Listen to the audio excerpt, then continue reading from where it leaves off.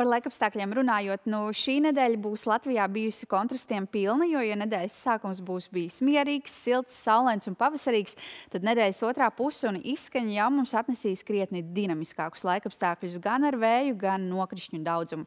Bet vairāk par šī brīža situāciju. No rīta neliels sals saglabājas valsts austrumos, tur gaisa temperatūra nedaudz pazeminājusies zem 0 grādiem, bet arī citviet gaisa temperatūra valsts lielākajā daļā svārstās ap nulli. Vējš lēns līdz mērens, līdz ar to atsevišķos Atsevišķos rajonos ir sabiezējusi migla un dūma, un autovadītājiem līdz ar to ir jābūt uzmanīgiem.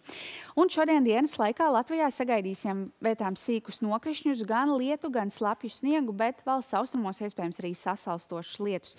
Līdz ar to līdz pat dienas pirmajai pusē saglabāsies brīdinājums par stipru, stipru apladojumu. Un gaisa temperatūra dienas laikā arī būs no 0 līdz plus 4 grādiem, līdz ar to šodien arī diena vēsāka kā aizvadītās.